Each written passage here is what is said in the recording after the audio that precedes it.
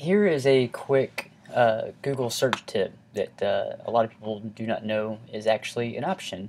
Um, but so let's say, say that you're searching for homes for sale in Dallas. Um, well, the the market right now is very competitive when it comes to there's not a whole lot of houses to list. So you may want to see what just came on the market. Um, so it defaults to an anytime search. Um, what you can do is actually change this to say just the past uh, 24 hours, past hour, past week. Um, so let's say past 24 hours. Uh, well, these houses more than likely, or these sites just got updated to where you have the very latest uh, results.